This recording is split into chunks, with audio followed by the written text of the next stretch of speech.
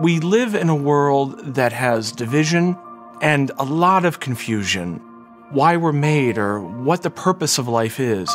You know, as followers of Jesus Christ, we have the answer to those questions. We're made by God, and we're made to be in communion with Him, to love Him, and to know Him.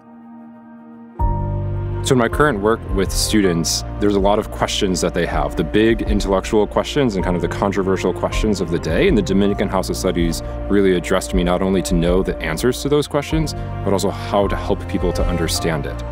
They don't need more content on the board. They need an opportunity to wrestle with the faith and perhaps start asking for the graces to grow in friendship with Christ. My time at the Dominican House of Studies gave me uh, the intellectual confidence that I was looking for, that truth is knowable, teachable at all levels.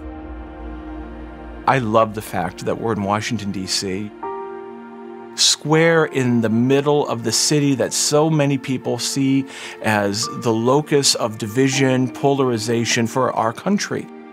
And to be a part of all of that and to be a force for good and truth, there is this hole, if you will, in all of us that only God can fill. Our primary mission is to form Dominican student brothers to be priests. But we also have others who want to share in the Dominican charism, other religious men and religious women, laymen and laywomen.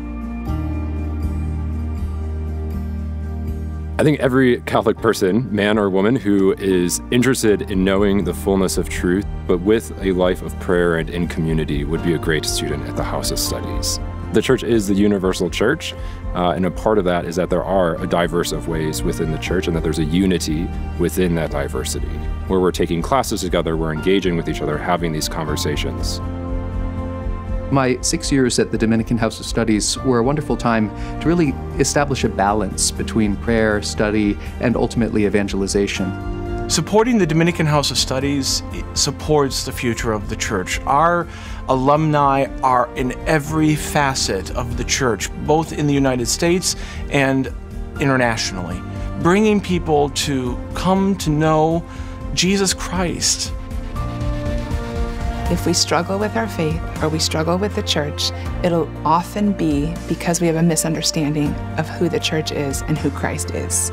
So, in removing some of those obstacles, we are equipping students to know that it's not irrational if I didn't have the chance to study, to take this time apart uh, before I engaged in my full time ministry, I don't think I'd really be able to be a true Dominican friar. I wouldn't be able to follow this path of putting myself at the service of the Word in the same full way supporting the Dominican House of Studies is an investment in the future church, not only for the students who are there, but for the students who will be there for generations to come. And that it's only with places like the Dominican House of Studies that the church is going to be able to reach all the corners of the world.